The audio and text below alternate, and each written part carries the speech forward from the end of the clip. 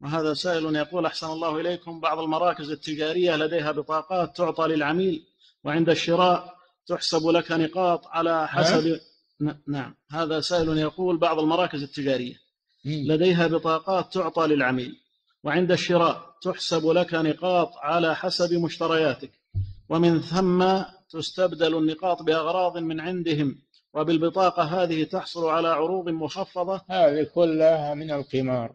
والميسر ولا تجوز.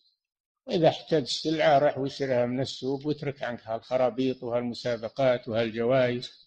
اتركها لأنها ميسر وقمار ويبونك تشري منهم ولا تشري من غيرهم. بيصرفون الناس عن المحلات الأخرى فيضرون الناس. يضر النبي صلى الله عليه وسلم نهى عن تلقي الركبان نهى أن يبيع الحاضر للبادي من أجل أن تكون المصلحة لأهل السوق كلهم ولا يأخذه واحد عن الثاني.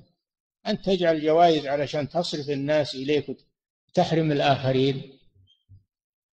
ثم هالمال هذا اللي يأخذه الزبون؟ هذا ما يجوز له لأنه ما هو في مقابل شيء. مقابل مقابل هذه البطاقة التي يريد بها صرف الناس إلى دكانه إلى محله والضرر بالآخرين.